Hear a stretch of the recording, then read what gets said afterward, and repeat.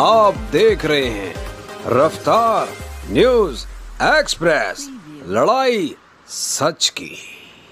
17 अक्टूबर को मुकेश गोयल द्वारा यमुना विहार मंडल के पद अधिकारियों की घोषणा की गई, जिसका सम्मान समारोह भाजपा के निगम पार्षद व पूर्व चेयरमैन प्रमोद गुप्ता के कार्यालय पर किया गया। जिस पर हमारे संवाददाता पूनम गर्ग ने गोंडा विधानसभा विधायक अजय महावर व निगम पार्षद प्रमोद गुप्ता से खास बात की। देखिए कैमरामैन काजिम के साथ पूनम गर्ग की खास रिपोर्ट। सम्मान समारोह मंडल में उन्होंने रखा है। अभी सभी मंडलों की टीम घोषणा हुई है। और नए पदाधिकारी को शुभकामना देना, विश करना, ये हम सबका फ़र्ज़ है। अभी उन्होंने टेलीफोन से ही टीम की घोषणा कर दी है। और वो सब लोग यहाँ पर अभी आने वाले हैं मेरे पास। और यहाँ से वो प्रमोद जी के जाएँगे। इसके बाद घोंडा मंडल और ब्रह्मपुरी मंडल की भी जिला कार्यालय पे अभी छः बजे और सात बजे नए पदाधिकारियों की घोषणा हो जाएगी जिला कार्यालय पर तो ये तो संगठन जब नया बदलता है, करवट लेता है तो युवा पीढ़ी आगे आती है। और हम सबका कर्तव्य है कि उन्हें विश करें शुभकामना दें और अच्छा काम करने करने के लिए प्रेरित करें।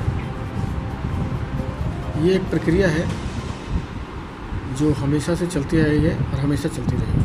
आज भारतीय जनता पार्टी यमुना विहार मंडल के सभी पदाधिकारियों की घोषणा हुई है। मैं आपके माध्यम से सभी पदाधिकारियों को बहुत बहुत बधाई देना चाहता हूँ, शुभकामनाएँ देना चाहता हूँ कि भारतीय जनता पार्टी ने उन्हें आज इस ज़िम्मेदारी के लायक समझाए साथ साथ उन सभी भारतीय जनता पार्टी के ओजस्वी, तेजस्वी कार्यकर्ताओं को ये कहना चाहता हूँ कि एक व्यवस्था है, व्यवस्था के तहत जिसको जो ज़िम्मेदारी मिली है, वो कर रहा है, मगर इसका मतलब ये नहीं कि बाकी लोग ज़िम्मेदारी से मुक्त हैं। हम सबकी उतनी ही ज़िम्मेदारी है जितनी एक पदाधिकारी है।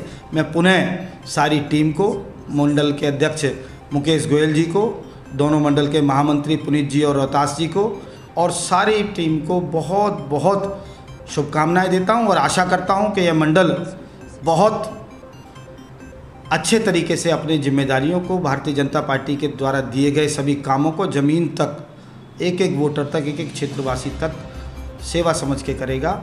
और ये मंडल इस ज़िले में नहीं, पूरी दिल्ली में अव्वल काम करे। राष्ट्र हित में काम करे ऐसी कामना करता